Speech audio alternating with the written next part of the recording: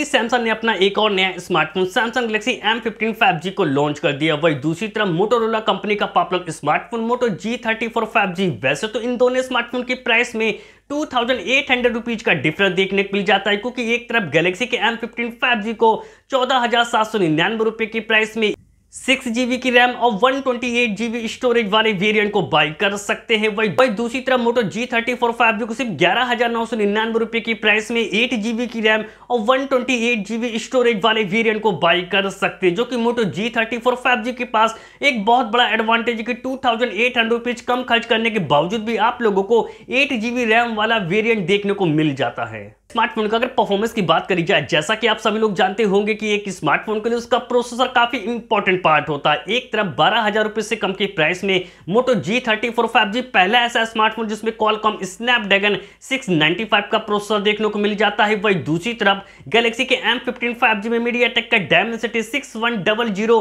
plus का processor देखने को मिल जाता है। वैसे तो इन दोनों स्मार्टफ़ोन के प्राइस में डिफरेंस देखने को मिल जाता है, पर रियल है कि परफॉर्मेंस और गेमिंग परफॉर्मेंस में इतना ज़्यादा डिफरेंस देखने को नहीं मिलता है, क्योंकि एक तरफ़ गैलेक्सी के एम फिफ्टीन फाइव जी का जो अंत स्कोर निकल के आता है फोर लैक्स फाइव थाउज़ेंड निकल के आता है, वही दूसरी तरफ़ Moto G thirty four five G का जो अंत स्कोर निकल के आता है four lakhs thirty seven thousand निकल के आता है। अगर आप लोग भी इन दोनों में से किसी स्मार्टफ़ोन को खासकर गेमिंग के लिए लेने के लिए सोच रहे हो तो इन दोनों स्मार्टफ़ोन के जी स्कोर यानी गेमिंग स्कोर को जानना बहुत ज़्यादा ज़रूरी है। जब इन दोनों स्मार्टफ़ोन में 30 मिनट तक गेम को प्ले किया गया तो एक तरफ़ Moto G thirty four five G का जो गेमिंग स्कोर निकल के आता है, वो टू थाउज़ेंड एट हंड्रेड निकल के आता है। वही दूसरी तरफ़ गैलेक्सी के एम फिफ्टीन फाइव जी का जो गेमिंग स्कोर निकल के आता है, वो टू थाउज़ेंड सिक्स हंड्रेड निकल के आता है। दोनों स्मार्टफ़ोन का अगर डिस्प्ले सेगमेंट की बात करी जाए डिस्प्ले की क्वालिटी तो काफ़ी ज़्यादा बेटर गैलेक्सी के एम फिफ्टीन फाइव जी में देखने को मिल जाती है। सिक्स पॉइंट फाइव इंच की सुपर एमोलेड डिस्प्ले देखने को मिल जाती है, पर डिस्प्ले की अच्छी स्मूथनेस के लिए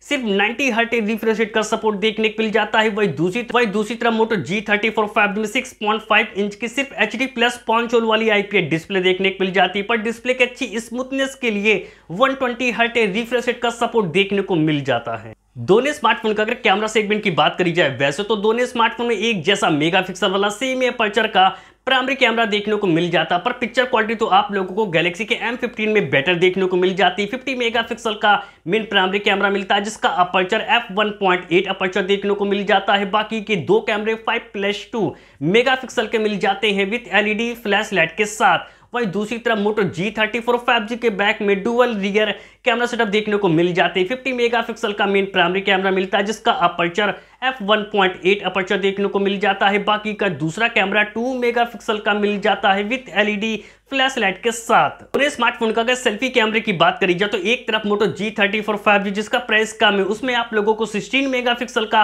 सेल्फी कैमरा देखने को मिल जाता है, जिसका अपर्चर f2.45 अपर्चर देखने को मिल जाता है। वही दूसरी तरफ़ गैलेक्सी के M15 5G में 13 मेगापिक्सल का सेल्फी कैमरा देखने को मिल जाता पर उसका अपर्चर f2.0 अपर्चर देखने को मिल जाता है। वही एक तरफ़ कम प्राइस होने के बावजूद Moto G thirty four five G में डॉल्बी एटमॉस का सपोर्ट देखने को मिल जाता है, जबकि गैलेक्सी के एम फिफ्टीन फाइव जी में डॉल्बी एटमोस का सपोर्ट देखने को नहीं मिलता। है बैटरी सेगमेंट की अगर बात करी जाए तो एक तरफ़ मोटो जी थर्टी फोर में 5000 थाउज़ेंड की बैटरी देखने को मिल जाती है। 20 वाट के टर्बो फास्ट चार्जिंग के साथ यूएसबी टाइप सी पोर्ट का सपोर्ट देखने को मिल जाता है। वही दूसरी तरफ़ गैलेक्सी के M15 5G में 6000 थाउज़ेंड की एक बड़ी बैटरी मिल जाती है। 25 वाट के फास्ट चार्जिंग के साथ यूएसबी टाइप सी पोर्ट का सपोर्ट देखने को मिल जाता है। सिक्योरिटी फीचर के लिए दोनों स्मार्टफ़ोन में साइड माउंटेड फिंगरप्रिंट सेंसर देखने को मिल जाते हैं। तो अब बात करी जाए कि दोनों में से कौन सा स्मार्टफ़ोन आप लोगों के लिए बेस्ट है। अगर आप लोग भी सैमसंग के स्मार्टफ़ोन को काफ़ी ज़्यादा पसंद करते हो फिफ्टीन थाउज़ेंड से कम के प्राइस में सैमसंग का ऑलराउंडर स्मार्टफ़ोन लेने के लिए सोचो तो गैलेक्सी के एम फिफ्टीन अपने प्राइस में